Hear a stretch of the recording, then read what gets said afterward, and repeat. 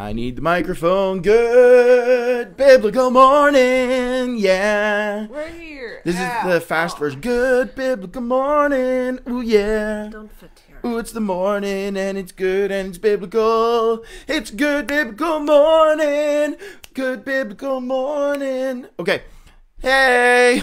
Good biblical morning. Welcome back. He hasn't even had any coffee. I have not. I literally just rolled out of bed, slowly did everything with my left hand, and then we're ready. So I apologize for being a little bit late, but we are here. So good morning. Welcome back. Um, thank you for being here with us for Bible Read Along. We invite you to share this out. Unfortunately, Facebook has changed the way they do things. So to share this out, you actually have to exit the video um, or you have to do it after. So just a reminder, we'd love for you to share it out. Share Thanks, it out after. Yeah, thanks, Facebook. Always changing. I got an email notification last night. They're changing group settings again this coming week. On we'll have to figure out what that means. I think it sounds like They like should just call Facebook the Alberta government. yeah, just changing all the time. Um, but welcome back, guys. My name's Daniel. I love Jesus and love the Lord and love my wife. I love you. She's here. Her, what's your name? I'm Ashley. I know it. I didn't forget. I promise. But um yeah, we we are grateful you guys are here. So comment, let us know that you're here. Uh we always love to see you. What are you laughing at? I need to shave the sides of my head again. It's time to it's time, is it? So we got some people already in the chat. Good morning, Brian. Always good to have you here. Sunny in Saskatchewan. That's great because last week you guys were freezing cold without power. So I'm glad to hear things are turning around. Morning, Matthew Baker in Kelowna. We got all sorts of people joining us from all over the world. Melissa's here locally as well. Welcome. We have Valentina from California is here. I'll be nice and sunny there. Probably sunny there. Ashley sometimes shows me the weather of like California and Texas and like, it wouldn't it be nice to be where it's warm? And I'm like, no, stop it. this is be happy. Morning, Phyllis. I forget where you are, maybe Australia, but remind me if I am wrong. But good morning, good morning, good morning. We are just so glad you guys are here. Um, Leanne from the Okanagan, Penticton, I believe, of British Columbia. Morning, Rachel. So glad you're here. Rachel has been a friend of mine for many, many years and forever. And so it's always really nice to see friends here and to see people joining us. So, and again, you can still share this video. You just have to exit to do it because I don't think there's a share button anymore. There is no. Nope. And then Facebook is changing things again. So we'll roll with the punches next week and see what that means for our group. What is our group? Our group is Bible Read Along. In case you missed the jingle at the beginning. Good biblical morning, morning. Okay, Bible Read Along. So what do we do? We grab the Bible and we read along. I know it sounds really complicated. I wish I could come up with a name that was a little more self explanatory, but that's the best we had. So, Bible read along. Grab a Bible, grab a pen, grab a highlighter, read along with us. Mike Markey mentioned yesterday how sarcastic I am. Yes, I am very sarcastic. In case you don't catch it, lots of sarcasm until we get in the Word of God, and then I pretty much just preach it up, preach it up. But today we are looking at Matthew, or not Matthew, Romans, Romans. chapter 5. Romans Road. So please grab a Bible, grab a pen, highlighter, read along with us. It will be available on the screen as well. You know all the things. All the things. All the things we say every single morning. If you are new with us, comment below. We'd love to welcome you. And even if you are watching this in the future, the far future of the world, in a time different than this time because it's the future. Okay, if you're watching in the future, later today, later this week. I'm in a weird mood. Sorry. Um, later, later. If you're watching years later, comment. We still, if this is still up on the interwebs of the world, comment. We want to hear you. Let's pray, and then let's get into Romans chapter five. Uh, we're gonna play prayer tag. It's a fun little game. It goes like this. You're it. Have you ever played prayer tag? It's a great game. Thank you for, thank you for this day. I just drooled all over you. I'm sorry. That's all right. Oh, thank you for Bible. Thank you for your word. Thank you for everyone that's joining us Mm-hmm. and everyone that's not joining us, who should be joining us. We just bless everyone. In the name of Jesus, Amen. Amen. Peg, Hey, You're oh, it. I'm it. Tag, I'm it. Okay, it's Bible tag now. Um, if you know people that are not joining us that should be joining us, you know a great way to help solve that. Share. Okay. Um, share it out. Morning, John Paul. Glad to have you here. Morning, Maria. So glad to have you guys here again. Some local friends of ours that are joining in. Let's yes, we have friends. I know, hard to believe if you're watching this for the first time. Oh, but we do, and we've been in lockdown and we've been in quarantine and all sorts of things for a very long time. So maybe we've gone a little weird here, but I got coffee. I'm good. let's head to the Bible. Are you ready? Here we go. Okay, we are now in the Bible. That was sound effects, high tech sound effects. Romans chapter 5. And we will take turns reading this. We are reading from the NIV, New International Version. Um, a little bit of the background. Paul's writing letters, often from prison. This is one of his letters to the Jewish slash Christian believers in Rome, and he is writing a letter. He's comparing. He number one, he started by saying we've all sinned, and there's different types of sin. People often want to go, oh, Romans one only highlights one type of sin. It does not. It highlights all of the sins, um, and it says we've all done it, and we need a savior.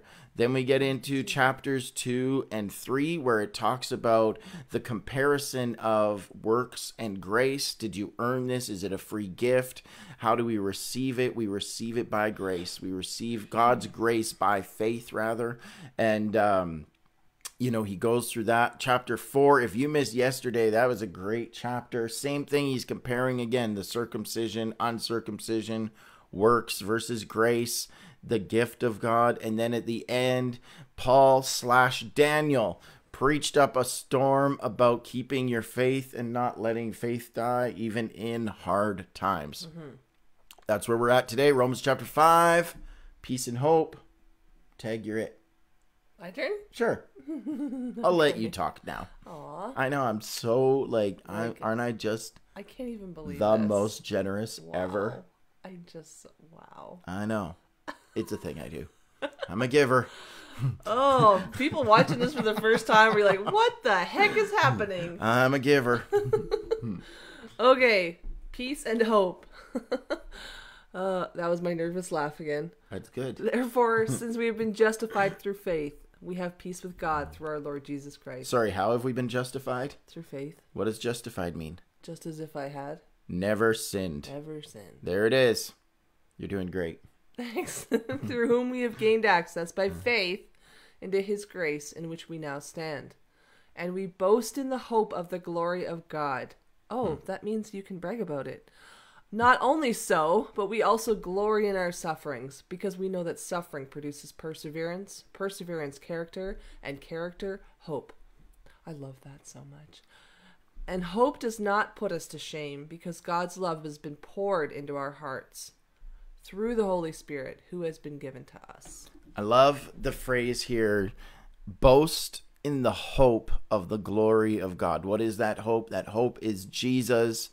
He, he died a sinless death, but he died the death of a criminal, and he rose again victorious over death, the grave, and hell, and um, is now seated at the right hand of God, making intercession for us, the Bible says. Uh, so just very cool. That is the glory of God. Now let's put this into modern terms. Boast in the hope of the glory of God. In other words, talk about it all the time. Everywhere you go, anywhere you can, talk about it. Use your face hole. Use your face hole to share this out. Now, if we were to get really modern, Paul would be saying right now, at the bottom of this letter, click share. That's what he is saying right now. So th- if we were to make this very modern, um, that's what he's talking about. And and obviously Paul's character said, you know, he did this. In jail, I'm going to boast about the goodness of Jesus' death, burial, resurrection. In good times, I'm going to boast about Jesus. In a shipwreck, I'm going to boast about Jesus. Stranded on an island with poisonous snakes, I'm going to boast about Jesus. Paul modeled this, so not only in word, but in, in action as well. Let's keep going here down to, we are at verse 6 again, we welcome your comments. I know I make jokes and stuff, but if there's something um, that stands out to you, so even right now, Leanne actually put the the um, is this gonna work? Yeah. Don't, it's working, but it just doesn't look very good. Um, justified. The the technical term means rendered innocent. This is absolutely amazing because this is this is we're as we found out from Romans 1 we're all guilty. We all have sinned. We all need Jesus. And so being rendered innocent we are declared innocent by Jesus Christ. I'll move this out of my face so you can still see me here.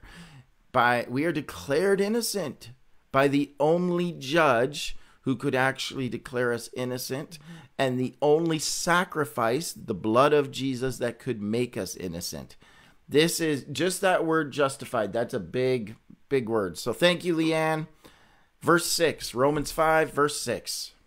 You see, at just the right time, when we were still powerless, Christ died for the ungodly. You're welcome. Yeah. Very rarely will anyone die for a righteous person though for a good person someone might possibly dare to die. But God demonstrates his own love for us in this. While we were still sinners, Christ died for us. Huge. Again, this isn't you didn't do it because you're so good. God didn't die. In fact, people don't die for good people often. You know, there might be some circumstances where it's like, no, kill me instead. He's a good man or he's whatever. But that's not the case. We were guilty as sin literally guilty as sin, and Jesus died for us. Verse 9. Let's. There we go. Verse 9. Since we have now been justified by his blood, how rendered much more, innocent. Mm-hmm, how much more shall we be saved from God's wrath through him? For if, while we were God's enemies, we were reconciled to him through the death of, of his Son, how much more, having been reconciled, shall we be saved through his life. Not only is this so, but we also boast in God through our Lord Jesus Christ, through whom we have now received reconciliation. Perfect. So now interesting here, and again, I've had some arguments. I, I like debating scripture, talking about scripture, but there was a debate I was in this last week that I didn't agree with and actually I didn't know how to fight it, but the more I go through scripture now, the more I'm like, there it is, there it is, there it is. Um, we've been justified by his blood. And some people would go, then, see, we don't even need repentance. We don't need an altar call. We don't need to pray. We don't need to do anything because Jesus did die once for all. So either he died for all or he didn't. Um, this is called universalism. Everyone is saved. Everyone's going to heaven. Everyone. Now, I don't see that in scripture. Even here, we see we it's laid out that way. Jesus dies for all except through whom we have received. We still have to receive that gift. We don't get it just because we hang out with Christians. We don't get it just because Jesus died for all. There is a receiving process here that has to take place. We talked yesterday about God doesn't have grandkids. He has children. We have to personally have a relationship with him, not just be associated with that. So there there's something that we have to do to receive this gift of God. Now, what is that? I'm gonna I'm I am going to agree with this other gentleman's argument a bit. It's not a special prayer that we pray like now it's time, raise your hand. That might be the start of it. But that's not that's not what makes us saved. What makes us saved is faith. What justifies us is faith. Mm-hmm. Faith in what? That God did something. That he sent his son, that he died, that he rose again, that we can be justified. Our faith is what leads us to the grace of God, according to Paul. But faith, John says, faith without works, faith without an action is dead. So for many, their journey of faith started by saying, I raise my hand, I believe this. Yeah. I'll, I'll pray a sinner's prayer, even though that's What you do after that. that it's counts. now what you do with that. Is that real faith in you? If so, it's going to keep producing and keep growing. Um, we can't weaken in our faith. That's what we talked about yesterday. But that that's some thoughts there from me. So um, let's keep going though. Where did we read here? We were just on Death nine, didn't Adam. we? Okay, death through Adam and life through Christ. Here we go. You're up. Therefore, just as sin entered the world through one man, and death through sin, and in this way death came to all people, because all sinned. To be sure, sin was in the world before the law was given, but sin is not charged against anyone's account, where there is no law. Nevertheless, death reigned from the time of Adam to the time of Moses, even over those who did not sin by breaking a command, as did Adam, who is a pattern of the one to come. Okay, Adam is a pattern of the one to come. Now, what is this talking about? It's actually going to compare two people here now Adam, the first man created by God, and Jesus, which they refer to, as we'll get into more scripture here, as the second Adam. Because of Adam and Eve, but because of Adam, the first man, this is again it's not just about him as a person this is showing it as a as a picture as a stereotype as a pattern so the first man disobeyed god and was in sin. And this revealed and actually welcomed into the world the the sinful nature that we all carry. We are all sinful um in, in our lives. We all make things you know some even as little kids i want to be careful how i word this because i believe the grace of god is bigger than i understand it and so i'm not saying certain groups others don't go to heaven or, or don't know the lord aren't saved. I don't know that. God's grace is bigger than i could ever imagine. But as little kids isn't it funny that often the word that our our children first learn is? No. No. No, there's this attitude of no, I know what's best. No, me. No, mine. No, no, mine. And so we see the sinful nature in humanity right from from early early ages. Now, can God's grace cover that? Absolutely. Thank goodness, Um, that's still me. And again, No. be- because this isn't about that special prayer. Well, they never prayed that special prayer. So are they? I, God's grace, he just said here too, you know, where there is no law, even before the law, God's grace was there. Anyways, there's, it's a lot to explain sometimes in Paul's writings because you really have to look at all of Paul's writings to kind of figure out what he's saying because he drops these bombs that just seem like one sentence and they're actually like huge theology debates. But anyways, let's keep going here. Do I need to scroll down more? Um, we're on fifteen. We are on 15. All right. But the gift is not like the trespass. For if me- if the many died by the trespass of the one man, how much more did God's grace and the gift that came by the grace of the one man, Jesus Christ, overflow to the many? That's huge. So again, Adam, we're comparing Adam and Jesus. Adam as a stereotype, as a pattern, he messed up for humanity. How many humans did that affect? Many, many, many. So, how much greater, though, is life than messing up? How much more can the life of God impact many, many, many? That's all he's saying here. That's really good. That makes me think of like how much it, one person can impact a group of people. Man, one person. And I'm not referencing the COVID example they gave us last night on TV. No, but it, I'm you talking know, about like yeah. you, know, you, you have a you have a let's say you have a Bible study and only one person shows up. That's okay. That's one person that you're sharing Jesus with. It's going to affect a multitude of more people. That's right. Be faithful. Yeah. And this is we talk about this in our celebrate recovery step study groups when we do our inventory we it's so easy to look at the bad i've done oh mm-hmm. i did so much bad so much bad often though we magnify the bad. It was so awful so bad i feel so guilty. And i've even personally myself gone to make amends and people go oh i didn't even remember that you did that. I didn't and it's haunted me for years and i felt like i ruined someone's life and they don't even know. Or or they just go oh yeah i forgive you. I moved on from that a long time ago. Okay.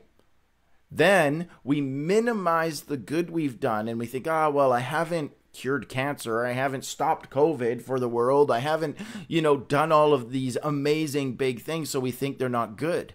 But instead, the people will remember, you know, I, I can tell many stories, but people can remember a simple action or word that you spoke to them that has changed their entire life.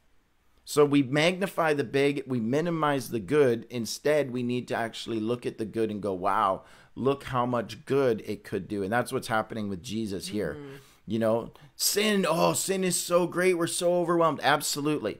Sin is awful. It separates us from God. It doesn't let us live our full life, our full potential. It hinders us. It hurts relationships. It hurts others. But we we can't be so sin focused that we miss the grace of God because the grace of God is huge.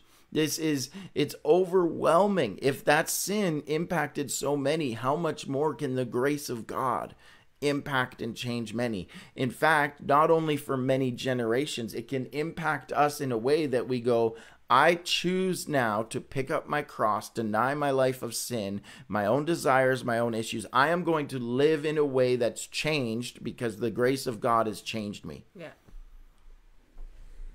nor can the gift of God be compared with the result of one man's sin. That's what we're talking about.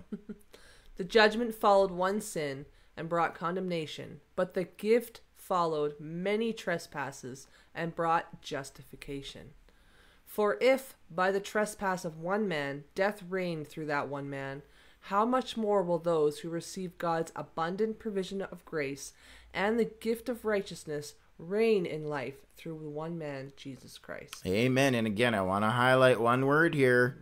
This is an action word. We have to receive the gift of God because again the, the argument i was having and the false belief is well see jesus died for everyone and everyone it doesn't matter now. It actually went this far that it doesn't matter what you do how you act. In fact this guy went as far as to say all the bibles are wrong and churches are wrong and everyone all christian history is wrong because we're actually just all saved because of what jesus did. No. There is the power for all to be saved we have to receive it. If my wife makes a meal, there is the power for all to be fed in the house. But if the kids choose not to come up out of their room, they do not receive the food that has been prepared. So, same thing with Jesus. He has there is the power for all to be justified. There is the power for all to be made right with God. There is the power for life to be changed. There is power for us to live godly lives, not only in this life, but the next. There is the power of God to change us if we come out of our rooms mm-hmm. and receive it. Anyways, I'm I know I'm hidden on that a lot, and the guy who I argued with, I don't believe even watches this um, because he doesn't agree with the Bible. So, you know, I want to teach you though because you're going to meet people like this in your in your lifetime. You're gonna have this argument at some point where, well, if Jesus, if that's really that powerful, isn't everyone just saved then? Why do we have to do anything? We don't have to change. It doesn't say that but we have to receive this abundant provision of grace.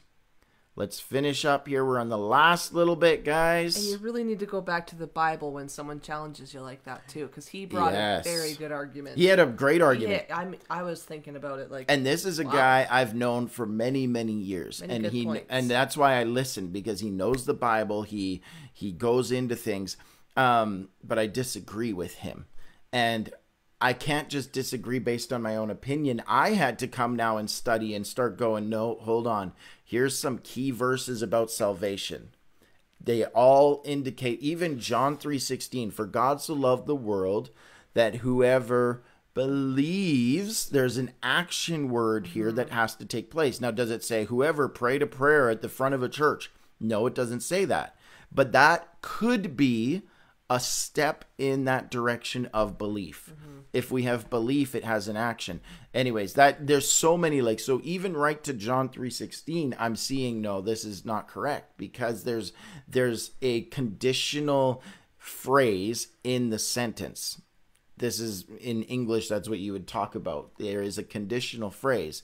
So i'll give you a million dollars if that's a conditional phrase you have to do something to get that Jesus is saying the same thing. The Word of God says the same thing. There is an amazing gift of grace available if you believe. And if you believe it, you receive it, you allow it to change. Anyways, that's.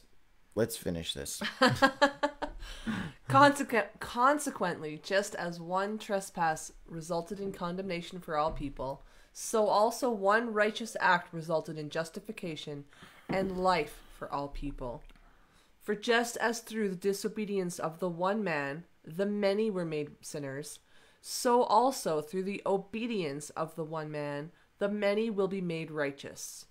So again, and see, this is if all we took was that verse, it sounds like Adam sinned, so everyone sins, but now Jesus is the righteous sacrifice, so everyone's clean. But we, again, context. We have to read the Bible in context. Because if all that was is just the verse that we just read, the, the gentleman I was arguing with is right. It doesn't say all anyways, it says the many will be It made says for many. You are you're right, actually. right? You are right. Absolutely. So, I wasn't trying to. No, you're right. I there, there's even in that is the argument of it doesn't say for all, it says for many. Mm-hmm. But you know, he is kind of still taking it you as still have to make the choice. That's right. And depending on the translation, he he took it as all and all. Um, I see foul beliefs in that. Mm-hmm. All right, last little bit. The law was brought in so that the trespass might increase. But where sin increased, grace increased all the more, so that just as sin reigned in death, so also grace might reign through the righteousness to bring eternal life through Jesus Christ our Lord. Amen. Through Jesus Christ our Lord. You got to make him our Lord. Again, there it is. Um, we can be made right. We can be changed by Jesus Christ, but there is an action that is required. It requires a belief on our part. Belief without action is dead. It's dead belief. So there it is. Let's look at some chat. We I see some points in there. What do what do you guys think? Maybe you disagree with me and you're going no. The power of Jesus is actually for all and all are saved. I'd love to hear your point even if we disagree. Obviously in Bible read along I do share my own opinion. Um but I, I would gladly have a conversation with you uh, that's going to be a lot nicer than my public opinion when we talk one on one and communicate and work through the scriptures. So if you have a disagreement, please comment that as well. We would love Or questions. or questions. Um, but what stood out to you today? I want to hear, even if you don't have anything, just type, that's good. I agree. Type something in today because I'd love to hear from anyone who's watching. How many do we got? About just over a dozen here. Type it in. Let us see it. Um, again, as you're doing that, I'll stall for a minute. We have people joining us literally from all over the world. We also have Home of Hope. Um, I'm not going to show the video, but we have Home of Hope that you can go visit.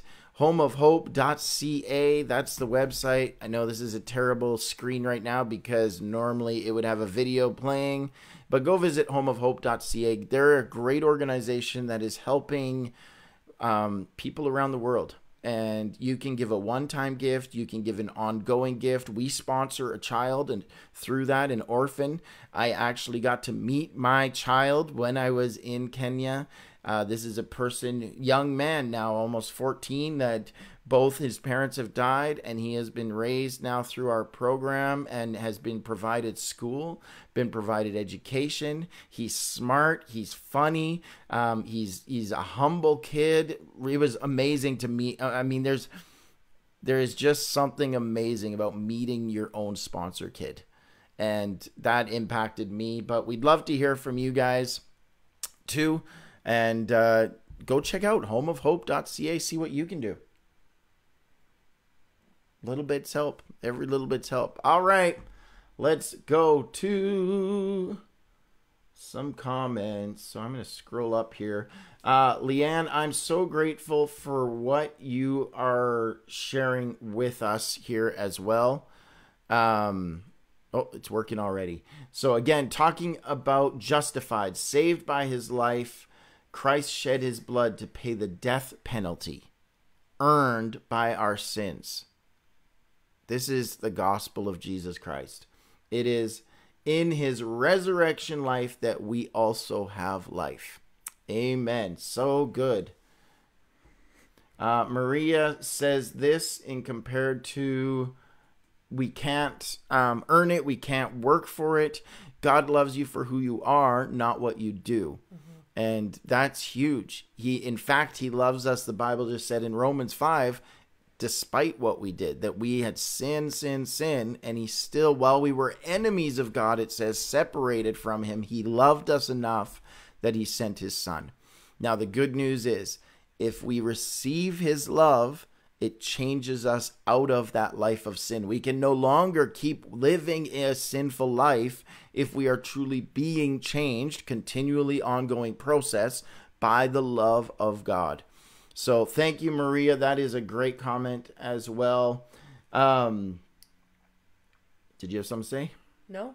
Matthew says, I love how God the Father forgives people when they sin. God is good all the time. Um, he also said here, interesting. Oh, did I push the right button? Uh, I don't like sin at all, and I wish that I hadn't sinned in my life. Now, the good news is, as we receive Matthew, that love of God, see, this is where sometimes, even in recovery, uh, let me say, even in my own recovery, there was a long time in my own recovery I was very sin focused. Stop doing bad, stop doing bad, stop doing bad, stop doing bad, stop, oh, bad, bad, bad. But when you're thinking of that, the subject that you're thinking of, this is now getting into neuroscience, but the subject you're thinking of is still bad. That's the topic of what you're thinking of. Instead, when I was able to change my thinking instead of bad Dan, bad Dan, bad Dan into good God, loving God, changing, life changing God, life giving God, it empowered me to walk away from the bad without being it the being the focus of what I was thinking of. I hope that makes sense. Mm-hmm. Um, so how do we stop living a sinful life? Because we we sin. I sin, you sin. There's sins. Um, we we don't stop by white knuckling and holding on. Oh, I gotta stop. I gotta stop. I gotta stop. That'll only work for a limited amount of time. What empowers you is going, God has empowered me to stop this. I don't have to do this thing. There is the power of God in me to live my life full of grace, full of hope, full of faith, in a way that changes me and changes others. Mm-hmm. So I hope that encourages you, Matthew, as well. Um, man, oh, this is Carolyn. I thought it was Leanne again. Carolyn says, sorry, we're still here. Um, conviction of sin produces repentant heart. Oh, a repentant heart to ask for forgiveness, which opens the door to Jesus and his gift forgiveness by his blood, which covers us with righteousness and gives new life setting us free from the condemnation sin brought. Thank you for your grace, Lord. Amen. That's you just again, you guys are preaching the gospel here. I love it. Share some of these things to your own mm-hmm. Facebook. Share it to your friends. Um, Matthew, I'm not going to say the name of the person I'm arguing with. I don't feel that that's right thing to do because this isn't about shaming him or it wasn't necessarily an argument no, anyways. It was a healthy debate. It was a healthy debate. I mean we had a good talk. I think we walked away and actually i you know we said you know we'll have to agree to disagree but i still love you man. And god's moved in our lives and we have a past and a history and i love you um there it is. And mike to finish it off says really good this morning isn't that true so good. Thank you, Mike, for your encouragement. Mike faithfully messages and, and sends audio to encourage us. Uh, thank you guys for being here. We are out of time. Share it out. Um, spread the word. Bible read along is for everyone because Jesus is for everyone. And so we would love to just see more people here, not because look at us, ooh, we want numbers like we just said, we never know the good we're doing. We never know one life could be impacted that could be the next Billy Graham, that could be the next, you know, Reinhard Bonnke that is preaching to millions and millions of people before they passed away. Um, you never know. And, or not even that extreme, because we always go to those extremes this could be your family member that hears this that cousin, that aunt, that uncle, that mother, father, brother, sister that you never thought would turn their lives to Jesus, and suddenly their life changes mm-hmm. and they live a godly life. That is just, by the way, that is just as powerful as being a Billy Graham or you do what God has called you to do. And if you're doing that and your life's been changed by Jesus, that's just as powerful as what the preachers of the past have done. Mm-hmm. All right, guys, God bless, and we will see you. No, not tomorrow. We are not here tomorrow. We'll we do a post as well. Early appointment in the city. I have a doctor's appointment in Calgary, so we have to get there. We have to drive two hours to get there, so um, we will not be here for Bible read along tomorrow, but we will be back Friday, God willing. God bless. We will talk to you soon.